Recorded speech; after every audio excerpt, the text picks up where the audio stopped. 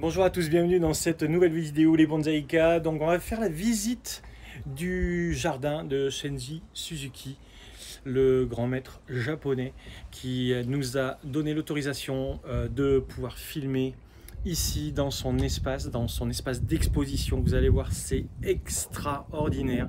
Les images que vous allez voir ici sont à couper le souffle. Quand vous rentrez euh, dans l'espace d'exposition, vous avez un arbre ici, une présentation qui est un petit peu particulière. C'est euh, un travail qui a été exposé il n'y a pas si longtemps que ça pour une grande marque de joaillerie qui s'appelle Bulgari. Et euh, c'est un travail qui a été réalisé notamment avec Manu qui, est venu nous chercher, qui est venu nous chercher à la station tout à l'heure. Et ce travail-là, eh c'est une création de pierre avec un ensemble de genévriers. Voilà, déjà, rien que cette pièce-là, très poétique, magnifique. vous pouvez voir que c'est une pièce qui est exposée plein soleil. Donc euh, quand vous arrivez dans le jardin, euh, vous êtes invité à aller sur la droite avec le mouvement de cet arbre. On commence à découvrir certaines pièces. Alors ici c'est très soigné, vraiment un endroit très propre, vraiment un espace d'exposition, on va dire parfait, avec des pièces magnifiques, comme ce pain blanc, par exemple, avec un mouvement extraordinaire. Avec ce genévrier aussi. Regardez ce mouvement de bois ici, là. Engine, waouh! Une splendeur de mouvement. Voilà d'autres pins bien sûr. Alors là, nous arrivons sur deux pièces euh, majestueuses. Ce sont deux arbres qui sont très très importants pour l'histoire du Japon. Euh, ce sont des pins rouges. Le pin de gauche, ici, il a été rempoté euh, cette année. C'est des arbres que l'on rempote uniquement à la main. Il n'y a pas de palan, il n'y a pas d'outils pour lever, pour basculer. Non, tout est fait à la main. Et ça, euh, déjà là, voilà, c'est pour vous donner la dimension un petit peu du travail. Il faut environ 5 à 6 personnes pour faire ce travail. Euh, ces pins-là sont multicentenaires, euh, entre 400 et 600 ans. On ne sait pas trop exactement. Il, paraît que ces pins-là étaient eh ben, dans le jardin de l'empereur. voilà, ils sont très très importants. Ce sont des pains rouges les deux. Ici, c'est l'entrée du tokonoma du maître.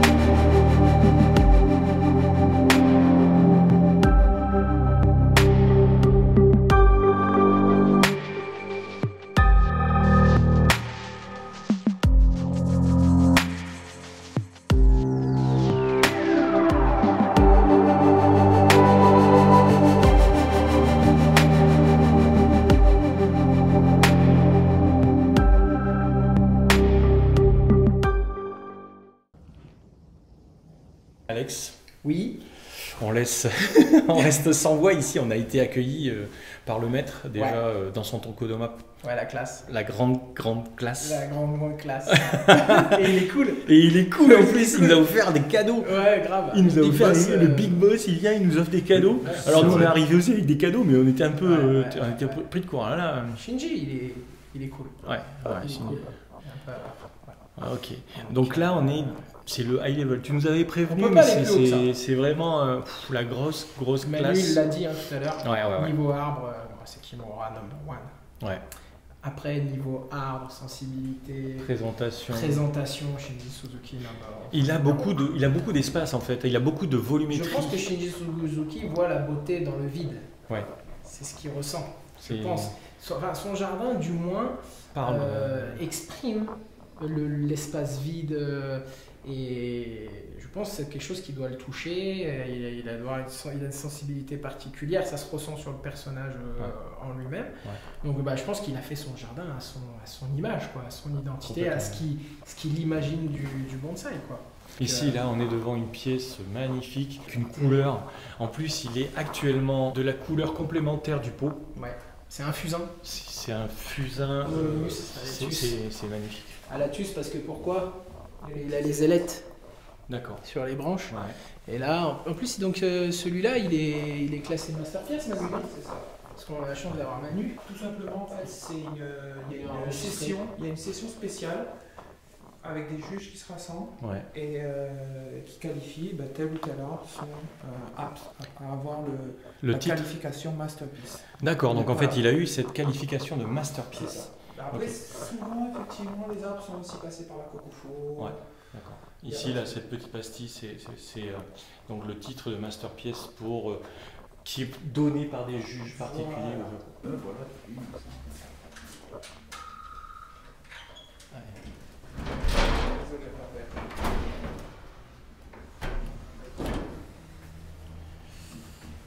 Donc ici vous avez une présentation très particulière avec deux arbres très très célèbres, donc de Fujin et Raijin.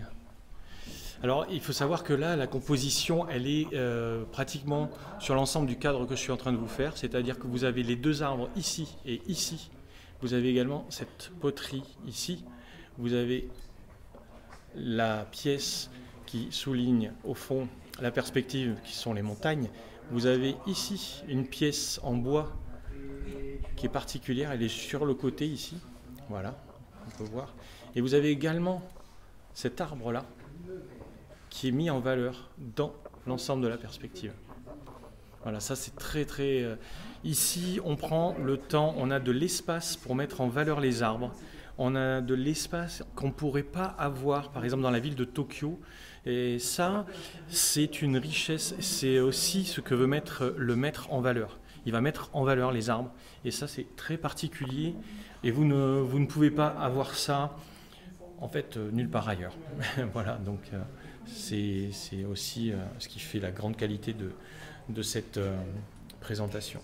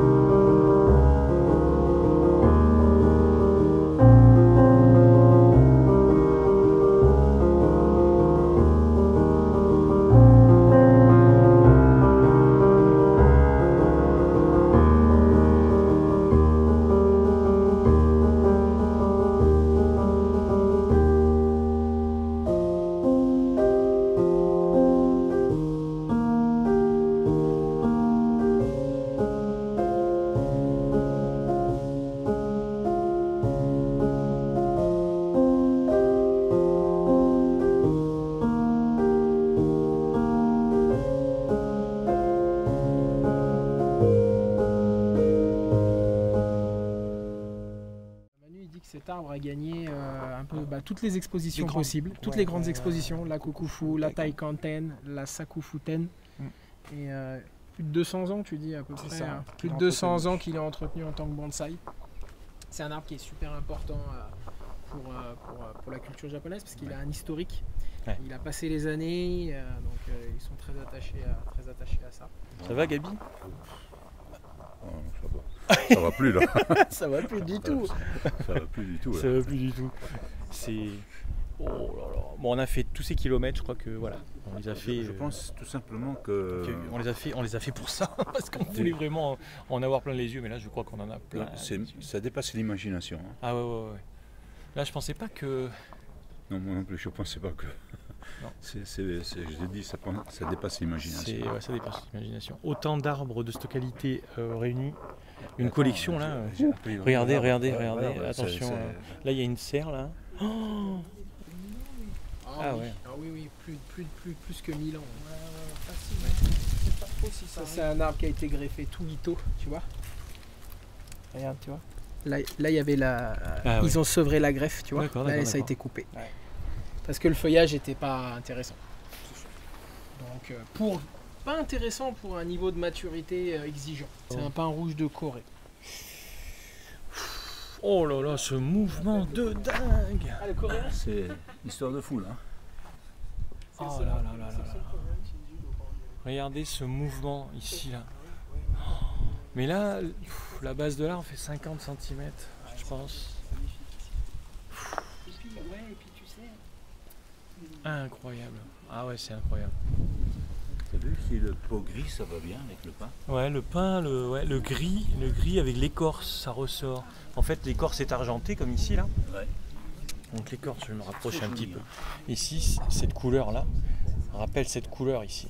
Ce qui fait qu'il y a un contraste de vert et on a l'impression d'une continuité entre, eh ben, entre le pot et l'arbre. Magnifique. Ce qu'on fait nous aussi souvent, on penche le pot, tu vois. Ouais. Et là il est penché à l'extrême, tu vois. Un truc que j'avais jamais pensé, c'est Le retenir, euh, faire des, des retenues euh, de, faire de- des retenues de, de- de de substrat, en fait. Ouais, pour que on le fait des retenues de racinaire se, développe, tu vois. Ah. Et le rempotage va donc être euh, comme ça. Eh quoi, ben, au niveau du pot, plastique, là, ouais, ouais, au niveau du plastique, le Voilà. prochain pot, ça sera certainement là. Vous voyez le mouvement de ce tronc? Et elle est tenue avec des, des- des barres de Wow. fer hein, partout. Ah, c'est tenu, c'est des morceaux de bois vissés de la même manière que l'on fait pour tenir Ouais. la bonne hauteur. Ouais, ouais, tout à fait, on ouais. fait ça, Là, on voit bien, par exemple, ici, ils ont pris appui. Ce bout de bois là, ce, ce Voilà. jean, il, ben, il tient sur cette planche. Et la planche, elle est elle-même tenue derrière par une, une petite euh, lamelle en, en acier. Et Voilà. le tout Il stabilisé, par, stabilisé. Des, par des barres de fer qui, qui protègent. Ici euh, aussi, par exemple, ah ouais. la structure est stabilisée à plusieurs endroits. Regardez, le pot, il est tenu, tout est, tout est accroché. Et vous avez aussi des barres de fer ici. Voilà. Par terre, vous pouvez voir qu'il n'y a pas une herbe qui traîne. Regardez. Petits gravillons, les petites dalles, les, pas japonais pour pouvoir s'approcher de certains arbres ici. Vous voyez Les poteaux, comme je vous ai expliqué, ces poteaux-là, là, ils sont en béton. Et voilà. Et ils sont. Ils tiennent des sortes de planches, mais en fait ça aussi c'est du béton. Voilà. Et les arbres sont accrochés à ces plaques.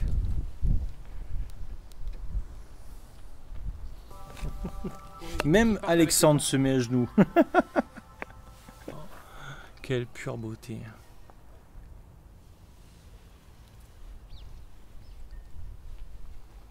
Regardez ce travail sur le bois. C'est vraiment très très beau.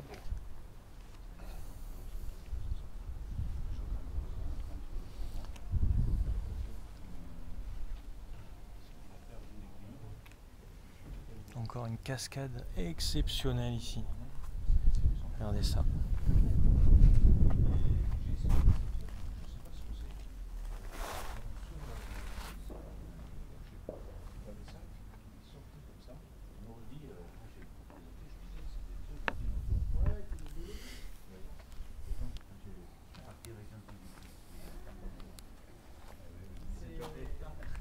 Regarde, regarde l'alignement qu'il y a là. Regarde, regarde, regarde ce point. C'est beau, c'est très très beau, c'est très très bien présent. Regarde cette allée. Ah, Là. cette allée, c'est- c'est- mais c'est fou, c'est. Regardez, moi je fais un petit plaisir, là on se les refait. Waouh. C'est majestueux. C'est vraiment majestueux.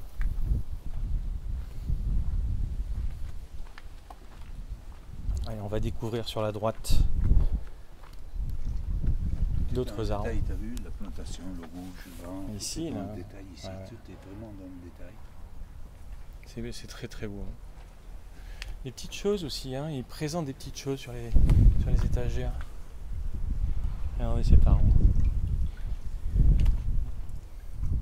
Et Ici, en fait, on va pouvoir voir ces arbres de l'extérieur. Ils sont en extérieur, mais on peut les admirer de l'intérieur. Et alors là,